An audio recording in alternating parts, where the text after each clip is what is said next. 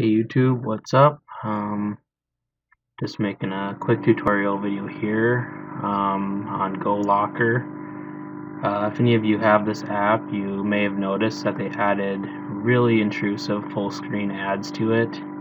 Even if you purchase GoLocker VIP, um, it still has ridiculous ads on it and overall is annoying as shit. So uh, I'm going to be showing you how to get rid of these full screen ads. And sorry about the poor audio quality. Uh, I'm doing this on a webcam. So basically, first thing you're going to want to do is you're going to want to go to your application manager. Wait for it to load here. Then you're going to want to go find your Go Locker app as you can see, we got version 5.17 on there. That's important. If you remember, right there is the version. So,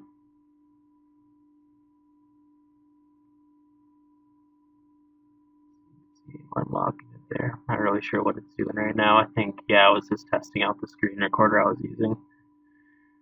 I'm doing this narrative about two weeks after I actually screen recorded it, but okay. So I'm going into the file manager now, and in here I've got an APK file for GoLocker version 5.02. If you see any other apps in here, uh, feel free to ask for them, and I can send you a link to them.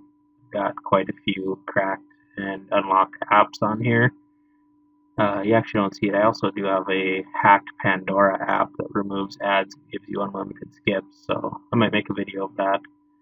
But anyway, as you can see, I've got a GoLocker app in there, and I'll put a link in the description to this. And as you can see, when you try to install it, it'll say app not installed. Uh, that's just basically because it's showing up as an older version, and your phone won't let you do that by default. So what you're going to want to do is go into your application manager, go find GoLocker, and you're going to want to just uninstall it. Uh, don't worry, when you uninstall it, it does keep all of your uh, screens, and if you have VIP, it'll save that.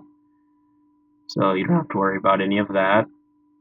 Now you're going to want to go to your file manager and install the APK down in the link there. And as you can see, this time it'll actually install it. So basically what this is doing is 5.02 is the version right before they added all these obnoxious ads to the app. So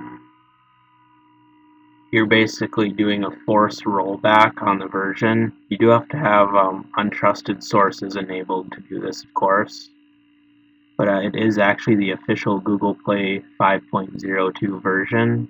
It's not cracked in any way, it's just the pre-ad patch. So right here it does have you reselect it, and I think it might have me yeah, I do have to redo the settings for the actual lock screen. As you remember from earlier, I had the red one selected and whatnot but uh, this is basically the ad-free version. I don't think this version even has any ads in it. This was before they added ads to the app. Uh, one thing that you do need to notice after doing this is it's the official Google Play version of 5.02. So uh, as you can see, I'm going into my manager here as you can see right there, it's version 5.02. I believe 5.05 is when they came out with the full screen ads. And uh, one thing I do have to warn you about is since it is an official Google Play APK that you installed, it will show up in your updates that you need to update it. Do not click update on it, otherwise it'll it'll update to the version with the ads. So this is basically how to roll back to the version right before they added the full screen ads to this app.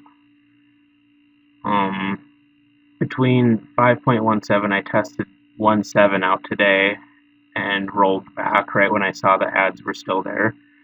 Um, they haven't really added anything new to it ever since they did this. Um, I think it's just like language compatibility and stuff that they've added. So basically, um, that's how you roll back to version 5.02 in GoLocker. I'll uh, post a MediaFire link so that you don't have to worry about uh, surveys or anything. And be sure to subscribe if this helped you and let me know if there's any other apps you want me to do.